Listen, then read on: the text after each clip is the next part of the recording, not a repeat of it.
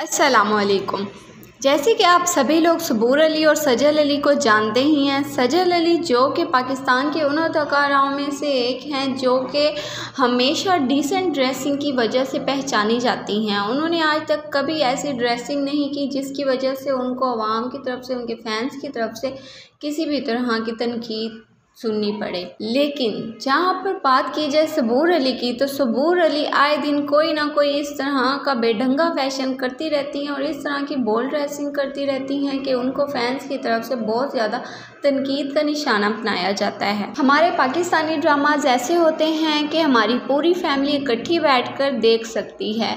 लेकिन यही पाकिस्तानी अदाकाराएँ, पाकिस्तानी ड्रामाज के बाहर अपने रियल लाइफ में इस तरह की ड्रेसिंग करती हैं कि इनको देख कर हमें शर्म आने लग जाती है। ये बिल्कुल यूरोप कल्चर को फॉलो करते हैं जिसकी वजह से फैंस उनको बहुत ज़्यादा सुनाते हैं। कुछ दिनों पहले सबूर अली ने इस तरह की ड्रेसिंग की कि उनको फैंस ने बहुत ज़्यादा किसी ने तो कह दिया कि बहुत ही वाहियात लग रही हो। किसी ने कहा कि इस तरह के कपड़े तो ऐसे लग रहे हैं जैसे पुरानी बचपन की बनियान पहन ली हो। एक आदमी ने तो ये तक कह दिया कि मैं अपने बच्चे के साथ बैठा फ़ोन चला रहा था कि अचानक तुम्हारी इस तरह की गंदी पिक्चर मेरे सामने आ गई। ये हमारा कल्चर तो नहीं।